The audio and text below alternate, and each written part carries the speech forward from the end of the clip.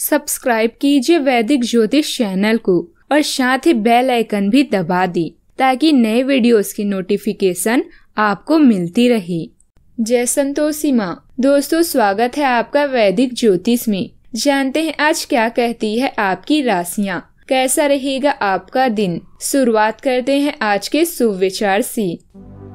रिश्ते चाहे कितने भी, दूर क्यों ना हो, उन्हें अपनेपन का एहसास दिलाते रहना चाहिए। आत्मविश्वास ज़िंदगी की सबसे खूबसूरत सुबह होती है, जो आपके पूरे दिन को खूबसूरत बनाए रखती है। जिनका वक्त खराब है, उनका साथ ज़रूर दी, मगर जिनकी नीयत खराब है, उनसे दूर रहना ही बेहतर है। आज का पंचांग 4 जुलाई 2022 दिन सोमवार, आषाढ़ मास के शुक्ल पक्ष की पंचमी तिथि। शाम छह बजकर तैतीस मिनट तक रहेगी। इसके उपरांत षष्ठी तिथि प्रारंभ हो जाएगी। मघा नामक नक्षत्र सुबह आठ बजकर चवालीस मिनट तक रहेगी। इसके उपरांत पूर्व फाल्गुनी नामक नक्षत्र प्रारंभ हो जाएगी। आज का राहु काल, अर्थात दिन का सबसे अशुभ समय, सुबह सात बजकर तीस मिनट से नौ बजकर दस मिनट तक रहेगा।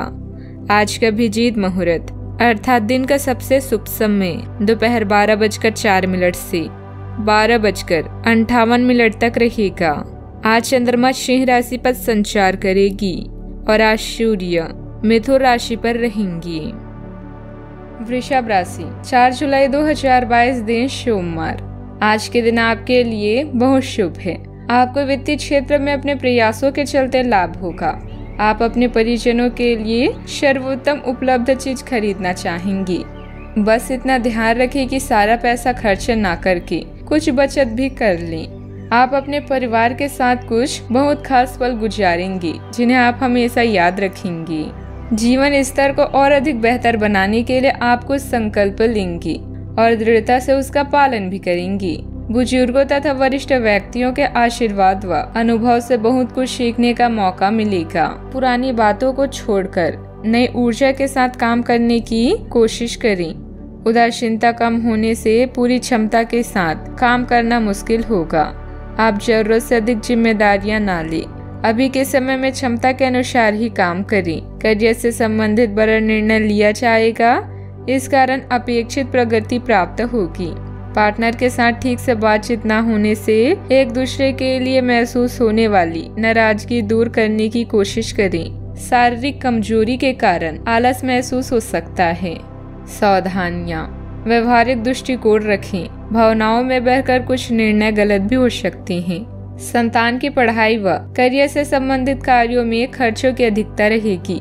मन में नकारात्मक विचार न उपजने दें। बात करते हैं लव लाइफ की। घर में सुख शांति पूर्ण माहौल रहेगा। जीवन साथी का सहयोग आपको आत्मविश्वास व आत्मबल प्रदान करेगा। आप किसी अलग संस्कृति या किसी दूसरे देश के रहने वाले के प्रति आकर्षित हो सकते हैं। आप इस आदमी के लिए काफ़ी उत्सुक और भावनात्मक अनुभव करेंगे। जब आप इस आदमी के साथ होंगे तो आपको बाकी दुनिया से कोई मतलब नहीं रह जाएगा। अगर भगवान ने चाहा तो इस संबंध को जल्दी कोई ठोस रूप भी मिल सकता है। बात करते हैं करियर की। आज के दिन, जो लोग सार्वजनिक क्षेत्र में कार्य करते हैं, उन्हें आगे बढ़ने के अच्छे अवसर एवं पदोन्नति मिल सकती है। अगर आपने सार्वजनिक क्षेत्र में नौकरी के लिए आवेदन किया हुआ है तो आपको शुभ संदेश मिल सकता है। ये समय किसी दूसरी नौकरी जैसे कि प्रशासनिक कार्यों के आवेदन के लिए भी अच्छा है। अगर आप अपनी वर्तमान नौकरी से खुश नहीं हैं, कार्यस्थल पर वर्तमान गतिविधियों पर ही ध्यान दें। काम काज का बोझ बढ़ेगा। काम समय पर निपटाने की कोशिश करें। इस समय नई योजना या प्लाटिंग पर काम करना नुकसानदेह रहेगा। बात करते हैं सेहत की। अत्यधिक थकान और तनाव का असर आपके स्वास्थ्य पर पड़ सकता है। कुछ समय अपने आराम के लिए भी अवश्य निकालें। इस बात पर ध्यान दें कि आज ऑफ़िस में कौन बीमार है। और उनके द्वारा प्रयोग किए जा रहे टेलीफोन, लैपटॉप या दूसरे उपकरण का प्रयोग करने से बचें। अगर आप ऐसा कर पाए तो आसानी से संक्रमण से भी बच सकते हैं। आप बहुत परोपकारी हैं और दूसरों का जितना ख्याल आप रखते हैं, वह वास्तव में प्रशंसा के योग्य है। लेकिन ना भूले कि अपना ध्यान रखना ही उचित है। आज का उपाय, आज आप शिव जी को खीर का भोग लगाएँ, शुभ रहेगा। जीवन में हमेशा सकारात्मक सोच के साथ आगे बढ़ते रहें। आपका दिन शुभ हो।